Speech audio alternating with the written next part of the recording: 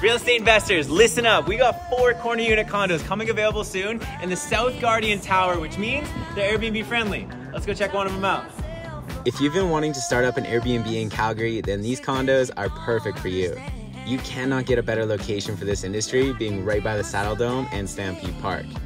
This building is notorious for producing some of the highest income for Airbnb condos in downtown and are one of the few buildings that allow and are pro Airbnb.